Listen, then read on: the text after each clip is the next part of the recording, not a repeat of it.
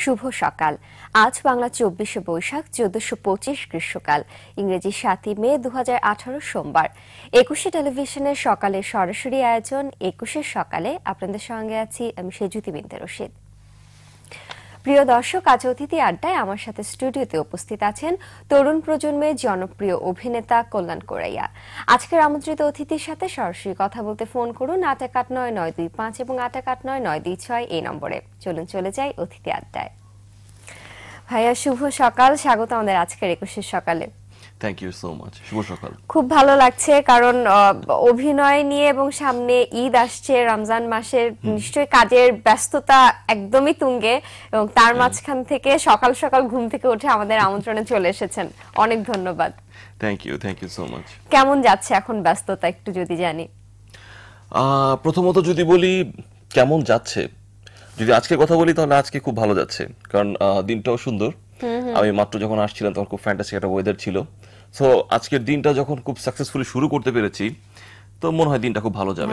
Then again হচ্ছে যদি কাজের কথাই বলি কাজের প্রেশার তো অবশ্যই আছে। এর মধ্যে ঈদের কাজ আসছে সেই ডেটগুলো অ্যাডজাস্ট করার জন্য যে ব্যস্ততা থাকে সেটা আছে। তারপর হয়তো একটু শপিং করতে হচ্ছে কিছু ক্যারেক্টার কিছু ভালো ভালো ক্যারেক্টার এবার হয়তো আমি ঈদে করতে যাচ্ছি সেটার জন্য কিছুটা প্রিপারেশন দরকার হয়। আচ্ছা, আচ্ছা। সেই প্রিপারেশনগুলো নেওয়া হচ্ছে। এবং রানিং যেসব কাজগুলো চলছে সেগুলো নিয়ে মানে অন এয়ারটাকে ধরে রাখার জন্য অ্যাটলিস্ট ঈদ পর্যন্ত ওই গ্যাপে গ্যাপে কাজগুলো করতে হচ্ছে আর কি। আচ্ছা। ঈদের কাজ সাথে অন এয়ার কাজগুলো দুটো একসাথে। বোঝাই যাচ্ছে যে একদম দম ফেলানোর কোনো সময় নাই এরকমই ব্যস্ততা। তো ঈদের জন্য যেই কাজগুলো করা হচ্ছে তো ঈদে তো এখন আমরা যেটা দেখতে পাই যে খণ্ড নাটকের চেয়ে পাঁচ দিনের বা সাত দিনের ধারাবাহিক কাজগুলো এখন বেশি হয়। তো সেসব ক্ষেত্রে যদি একটু জানি যে যখন একটা নতুন কাজ আসে কারণ ঈদে তো পরপর অনেকগুলো চ্যানেলে হয়তো আপনার কাজ যাবে। তো সেক্ষেত্রে নিজের চরিত্রটাকে নিয়ে কেমন ভাবছেন? মানে একটু আলাদাভাবে নিজেকে প্রেজেন্ট করা বা একটা গল্পের চরিত্রের সাথে যেন আরেকটা মিলে না যায় এই ব্যাপারগুলো কি খুব কাজ করছে? হ্যাঁ সেটা তো অবশ্যই কাজ সবসময় করে। এটা শুধু ঈদের জন্য না। ঈদ ছাড়াও যখন আমরা বিভিন্ন ক্যারেক্টার বিভিন্ন সময় কাজ করার চেষ্টা করি বা যখনই আমরা স্ক্রিপ্ট নিয়ে একটু ভাবি তখন আহ, সবাই চেষ্টা করি যে যতটুক মানে নিজেকে পরিবর্তন করা যায়। ভ্যারিয়েশন আনা যায়। ক্যারেক্টারকে একটু অন্যভাবে দেখার চেষ্টা করি। কস্টিউম থেকে শুরু করে ডেলিভারি থেকে শুরু করে প্রেজেন্টেশন থেকে শুরু করে। যেমন একটু আগে আমি বলছিলাম যে হয়তো এবার কিছু শপিং এর প্রিপারেশন আছে। শপিং ইন সেন্স দেখা গেল যে আমি আমার গেটআপের জন্য নতুন কোনো লুকস আনার জন্য আমি কোনো কস্টিউম সিলেক্ট করলাম। বা কোনো ধরনের কিছু নিজের উপরে আমি অ্যাডপ্ট করার চেষ্টা করলাম যেটা আমার ক্যারেক্টারটা আরও বেশি স্ট্রং লাগবে বা দেখতে আরও বেশি বোর্ড লাগবে। এই বিষয়গুলো ডিরেক্টরের সাথে কন্টিনিউয়াসলি আলোচনা হচ্ছে এবং হয়তো আজকে আমার প্ল্যানও আছে যে আফটার লাঞ্চ আমি একটু নিউ মার্কেটের দিকে যাব। যে সামনে কিছু যেমন কালকে আমার একটা কাজ আছে পাভেল ভাইয়ের স্ক্রিপ্টে তো বোকাশোকা তিনজন। তো সেটার একটা ডন টাইপের একটা ক্যারেক্টার আছে এবং খুবই মুন্না ভাই ক্যাটাগরি টাইপের সো ওই ক্যারেক্টারটা ইউজুয়ালি নেগেটিভ ক্যারেক্টার অনেক করেছি। ডন গডফাদার টাইপের অনেক ক্যারেক্টার করেছি। সেটা হয়তো একটু স্টাইলিশ ছিল একটু বেশি মডার্ন ছিল খুব পয়সাওয়ালার গানম্যান ছিলাম এরকম কিছু একটা। কিন্তু এইটা একদম ওল্ড টাউন ক্যাটাগরির সো উইচ ইজ লাইক হয়তো এই এই এই টাইপের নেগেটিভ ক্যারেক্টারটা আমি করে করিনি আগে কখনো। সো অন্যগুলো করেছি। এটাকে একটু অন্যভাবে দেখার চেষ্টা করছি। সো এই জিনিসগুলো মাঝে মাঝে প্রতিনিয়ত নিজের মধ্যে ভাবি যে নতুন কি করা যায়? নতুন কি করা যায়? নতুনটা আসলে নিজে করতে পছন্দ করি দর্শক দেখেও ইন্টারেস্ট পাবে যে না সামথিং ইজ নিউ হ্যাপেনিং অবশ্যই তাই। আর এই যে নতুন কিছু নিয়ে যখন ভাবনাগুলো আসে যখন চরিত্রটাকে নিয়ে ভাবেন তখন কি এরকম হয় যে নিজের ভেতরে একটা কাজ করতে থাকে যে এটাকে কীভাবে একটু আলাদাভাবে ফুটিয়ে তোলা যায়? নাকি যিনি ডিরেক্টর থাকেন তার সাথেও কিছু একটা আলোচনা বসে যে তিনি কীভাবে দেখতে চাচ্ছেন? এই বিষয়গুলো কি হয় কিনা? হ্যাঁ এই বিষয়গুলো অবশ্যই হয়। যেমন রিসেন্টলি যেটা হয় যে আমরা আহ, আগে তো আমরা যখন কাজ করেছি তখন স্ক্রিপ্ট হয়তো এক মাস দেড় মাস দুই মাস আগে পেয়ে যেতাম। সময় আগে দেওয়া হতো বা আগে থেকে আমরা ডেটটা লক রাখতাম। এখন খুব ইনস্ট্যান্ট হয়। এবং স্ক্রিপ্টটা হলো আমরা হয়তো দুই দিন আগে পেলাম। বা অনেক সময় দেখা যায় খুব ইমার্জেন্সি কেসেসে আমরা স্ক্রিপ্টটা সেটেই পাচ্ছি। জাস্ট সিনাপসিসটা শুনে আমরা একটা প্রিপারেশনে চলে যাচ্ছি। সেই ক্ষেত্রে আমরা কোয়ার্টিদের সাথে ডিসকাস করতে পারছি না ডিরেক্টরদের সাথে হয়তো ডিসকাস হয় না তখন সেটে কি হয়তো প্রিপারেশন নেই। Quick preparation can not be a successful production অবশ্যই। আর হুটহাট করে রান্না কখনোই মজার হবে না। যদি আমি খুব প্রিপারেশন করে নিয়ে আসি সময় নিয়ে রান্না করি সেই রান্নাটা টেস্টি হবে। সো যেটা হয় যে যদি স্ক্রিপ্ট আগে আসে, যদি ডিরেক্টরের সাথে বসার বা মিটিং করার স্ক্রিপ্ট নিয়ে কথা বলার যদি সেই সুযোগটা থাকে অবভিয়াসলি আমার একটা চিন্তা থাকে যে আমি এই ক্যারেক্টারটা এই গল্পটাকে এইভাবে ভাবছি। ডিরেক্টর এক ধরনের ভিজুয়ালাইজেশন আছে। সবকিছু মিলিয়ে তারা আমার একটা ভালো ব্যাটে বলে সিঙ্ক হয়ে গেলে, আর সব কোয়ার্টিসদের আমরা তো ডেফিনেটলি শর্টে যাওয়ার আগে আমরা রিহার্সাল করি মেকআপ রুমে আমরা যখন স্ক্রিপ্ট নিয়ে আমরা আলোচনা করে ডিসকাস কে কীভাবে কতটুকু আমরা স্পেস দিব কীভাবে আমরা একজন আরেকজনকে ইন্টারাক্ট করব। এই বিষয়গুলো আমাদের রিহার্সালের মধ্যে থাকে। সো এই সুযোগটা আমরা যখনই পাবো তখনই more I will try more is gonna be better so হ্যাঁ বেস্টটা দেওয়ার সবসময় চেষ্টা থাকে। সেটা অবশ্যই এবং সেটার প্রতিফলন আমরা স্ক্রিনে দেখতে পাই। তো কথায় যেটা বলছিলেন কথায় কথায় যে আগে অনেক আগে স্ক্রিপ্টটা হাতে পেয়ে যেতেন এখন দেখা যায় যে সেটে গিয়ে পান বা খুব অল্প সময় হাতে রেখেই স্ক্রিপ্টটা হাতে পাচ্ছেন। তো সেসব ক্ষেত্রে একটু জানতে চাই যে এখনকার সময় একটা অভিযোগ দেখা যায় যে অনেক কাজ হচ্ছে কিন্তু তারপরেও সেই কাজগুলো দর্শকদের কাছে সেভাবে গ্রহণযোগ্যতা পাচ্ছে না বা ঠিক সেরকমটা হচ্ছে না যেরকম চেষ্টা দিয়ে আপনারা কাজগুলো করছেন। তো এটার কারণ কি আপনি এটাই বলবেন যে স্ক্রিপ্টটা অনেক আগে হাতে পাচ্ছে না যার কারণে সেটা নিয়ে প্রিপারেশনের সময়টা কমে যাচ্ছে।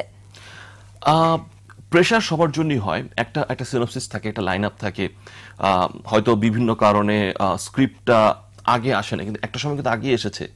এখন কেন আগে আসছে না? হয়তো খুব বেশি তাড়াহুড়া হচ্ছে এখন। সব জায়গা থেকে হ- হয়তো বা বা কাজের জন্য ডেটের জন্য মেবি প্রডিউসার জন্য মেবি ডিরেক্টরের জন্য মেবি হাউসের জন্য মেবি আর্টিস্টের জন্য বা ডেট মিলানোর জন্য এরকম কিছু রাশ আওয়ার থাকে। কিন্তু সেটার জন্য আমার মনে হয় না যে স্ক্রিপ্ট একটা ম্যাটার করবে। যদি স্ক্রিপ্ট যদি প্রিপেয়ার প্রিপেয়ার্ড থাকে যদি সেটা যদি অলরেডি আলোচনা করা থাকে সেই স্ক্রিপ্ট আগে আসাই পসিবল অন্য জিনিস তো ম্যানেজেবল মেবি আর যেটা বলব যে স্ক্রিপ্ট হাতে থাকলে তো অবভিয়াসলি মানে সেটা পড়ার জন্য ভালো লাগার জন্য আমি একটা সিনোপসিস আমি জেনে গেলাম। সেটা যাওয়ার পরে দেখা গেল যে এটা এন্ডিংটা সামহাও খুব বেশি জমজমাট হচ্ছে না বা গল্পের মাঝামাঝি একটু ঝুলে যাচ্ছে বা এই জিনিসটা এরকম না হয়ে যদি এভাবে দেখতাম তাহলে ভালো হতো। লাস্টের সিনটা দিনে না করে ড্রয়িং রুমে না করে ছাদে গিয়ে একটা বাতাসের মধ্যে করলে ভালো হতো। দের আর সাম থিংস যেটা আসলে ক্যারেক্টারের মধ্যে ইন করলে পরে তখন মাঝে মাঝে আমরা রিয়েলাইজ করি। তখন দ্য লাস্ট আওয়ারে আসলে কোনো কিছুই করার থাকে না। ভিতরে একটা আফসোস থেকে যায় যে আমি যদি ক্যারেক্টারটাকে শেষটা এভাবে করতে পারতাম। এক্স্যাক্টলি তখন হয়তো আমরা আলোচনা করি ডিরেক্টরের সাথে আলোচনা করি যে এটা যদি আমরা এইভাবে করতে পারতাম তাহলে খুব ফাটাফাটি হতো। এবং দেন এগেন যেটা হয় যে আগে চ্যানেলে মানুষজন কিন্তু নাটকের জন্য অপেক্ষা করে। এবং আমি সবসময় বলি যে আমাদের নাটক এখনও পর্যন্ত খুব সুপার ডুপার চলে। হ্যাঁ কিছু এর মধ্যে ভালো মন্দ কাজ তো থাকেই কিন্তু এখন যেটা আমরা দেখতাম যে বিজ্ঞাপনের কারণে নাটক মানুষ দেখতে পাচ্ছে না এই বিষয়গুলো অনেক আলোচনা হয়েছে অনেক কথা হয়েছে কিন্তু মানুষ অপেক্ষা করে দেখে। অল্প অল্প দেখলেও দেখে। আরও একটা এখন সুবিধা হয়েছে যেটা যে হ্যাঁ টিভিতে যদি আমরা বিজ্ঞাপনের কারণে দেখতে নাও পারি there is always a YouTube YouTube এবং এক্স্যাক্টলি প্রপার এবং এইচডি রেজলিউশনে মানুষজন দেখতে পাচ্ছে। এবং সেই ক্ষেত্রে গল্পটা ঠিকঠাক খুব বেশি জরুরি। যেখানে সবার আগে গল্প। হ্যাঁ কারণ আমি কোথাও কোনো পজ পাচ্ছি না কোথাও কোনো ব্রেক নাই। আমি যেখান থেকে গল্প শুরু করব সেটা একটা সুন্দর শেষ হতে হবে। সো এই জায়গাটা হচ্ছে যে স্ক্রিপ্ট ইজ আ ব্যাকবোন এখন যত সুন্দর স্ক্রিপ্ট স্টোরি টেলিং হবে তত ভালো কাজ হবে। এবং মানুষ ততই অ্যাট্রাক্ট হবে। এটা যেই বানাক না কেন গল্প ভালো থাকলে সবই ভালো হয়। অবশ্যই। গল্পের উপরেই বাকি সবকিছু নির্ভর করছে। একটু আবারও ঈদের নাটকের ব্যস্ততায় যেতে চাই কিন্তু তার আগে আমার মনে হয় যে যেই দর্শকদেরকে নিয়ে আমরা তো কথা বলছি আমরা একটু ফোনটা নিয়ে আসতে চাই। একজন দর্শক ফোন অপেক্ষা আছেন। হ্যালো দর্শক শুভ সকাল। কে আছেন আমাদের সাথে?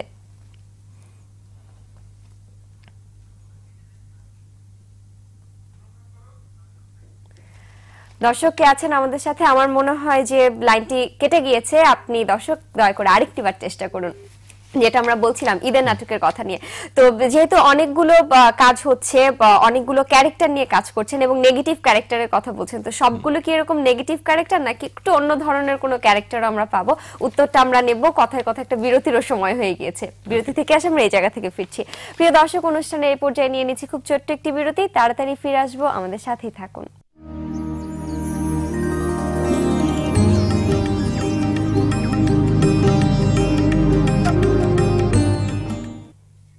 বিরতির পর আপনাদের সবাইকে স্বাগত একুশের সকালে সরাসরি আয়োজনে। এই মুহূর্তে আমার সাথে স্টুডিওতে উপস্থিত আছেন আমাদের সবার প্রিয় অভিনেতা কল্যাণ কোরাইয়া। আপনারা ফোনের মাধ্যমে আমাদের সাথে সরাসরি কথা বলতে ফোন করুন আট এক আট নয় নয় দুই পাঁচ এবং আট এক আট নয় নয় দুই ছয় এই নম্বরে। চলুন ফিরে যাই অতিথির কাছে। ভাইয়া বিরতির আগে আমরা যেটা নিয়ে কথা বলছি আমরা সেখান থেকে ফিরতে চাই যে ঈদে অনেকগুলো কাজ করা হচ্ছে এর মাঝখান থেকে ক্যারেক্টারগুলো কি ধরনের সেটা নিয়ে আমরা একটু জানতে চাচ্ছিলাম। যেটা বললাম সেটা তো শুধু একটা ক্যারেক্টারের কথা বলেছি নেগেটিভ ক্যারেক্টার দেন এগেন এর আগে কিছুদিন আগে আমি শামীম জামান একটা কাজ করেছিলাম সেটা একটা পদ্মা পাড়ের একটা গল্প আর কি মানিকগঞ্জে শুট করেছি। সেখানে হয়েছে একটা ডাক্তারের ক্যারেক্টার করেছি। It's it was really fantastic character আমার কোয়ার্টিস্ট ছিল শামীম ভাইও ছিল মমো ছিল। তারপর বারো তারিখে একটা কাজ করছি সেখানেও হচ্ছে সামথিং লাইক রোমান্টিক বয় তারপরে আরেকটা কাজ করছি। এর মধ্যে ধারাবাহিকের অন্যান্য ডেটগুলো দেওয়া আছে। এর মধ্যে আবার চব্বিশ তারিখের দিকে করছি আবার উনিশ বিশ তারিখের দিকে করছি। এরকম সব ধরনের ক্যারেক্টারই ঘুরে ফিরে হয়। কিন্তু আছে না কিছু পছন্দের কিছু ইউনিক ক্যারেক্টার যেটা আসলে সব সময় পাওয়া যায় না। সেফর কথার কথা এখন যদি বলো যে আপনাকে একটা সুপার হিরোর ক্যারেক্টার দেওয়া হলো। মানে চোখ দিয়ে লেজার বের হচ্ছে হাত থেকে মাস্টার্স বের হচ্ছে বা একটা পাওয়ারফুল একটা কিছু করতে পারলাম। এটা হচ্ছে যে যেটা কখনো হয় না। যদি হয় তাহলে বলব যে না আই এম ভেরি লাকি সেরকম অনেক ধরনের ক্যারেক্টার আছে যেটা আসলে নতুন হয়ে আসে লাইফে অনেক কিছু করেছি, অনেক কিছু করা বাকি আছে, এবং ক্যারেক্টার কখনোই শেষ হয় না। মানে প্রতিনিয়ত নতুন কিছু আসার অপেক্ষায় আমি থাকি সেটা তো অবশ্যই। তো যখন এই রোমান্টিক ক্যারেক্টারগুলো করা হয় সেখান থেকে হঠাৎ করে এই যে নেগেটিভ ক্যারেক্টারগুলো যখন করেন কারণ এক ধরনের ক্যারেক্টার করতে করতে দর্শকদের কাছে একরকম একটা গ্রহণযোগ্যতা হয়ে যায়। সেখান থেকে যখন আবার নেগেটিভ ক্যারেক্টার দর্শকদের কাছ থেকে রিয়াকশনগুলো তখন কীরকম আসে বা নিজের কাছে তখন নেগেটিভ ক্যারেক্টারগুলো করতে কি একটু মনে হয় চ্যালেঞ্জিং তখন মনে হয়? আমি নেগেটিভ করতে করতে আসলে মানে আমাকে মানুষজন নেগেটিভই ভাবে। যেটা অনেকের হয়তো ধারণা একটা সময় ছিল বা সময় গেলেই তো আসলে মানুষের সম্বন্ধে ধারণাটা চেঞ্জ হয়। মানুষ আমাকে ভাবতো যে আমার অনেক প্রেমের ঘটনা আছে অনেক পরকের ঘটনা আছে। অনেক অনেক সিনিয়রদের সাথে কাজ করেছি দেখা গেল যে আরেকজনের সংসারে গিয়ে আমি নাক গলাচ্ছি তাদের সাথে ডিস্টার্ব করছি। এই ধরনের গল্পের কারণে মানুষ আমাকে প্লে বয় মনে করতো যে আমি হয়তো অরিজিনালি এরকম। তারপর এক নেগেটিভ ক্যারেক্টার করেছি করছি যেখানে আহ, দেখা গেছে যে মানুষ মনে করে যে আমি মনে হয় আসলেই এই ধরনের উল্টাপাল্টা কাজ করে থাকি বা সবসময় মানুষের ক্ষতি করে থাকি সবসময় একটা বিপদ সংকেত নিয়ে আসি এরকম কিছু একটা। হ্যাঁ সেই একটা সময় থাকে না যে শুরুটা এরকম হয়ে গেলে মানুষ এটাই ভাবা শুরু করে।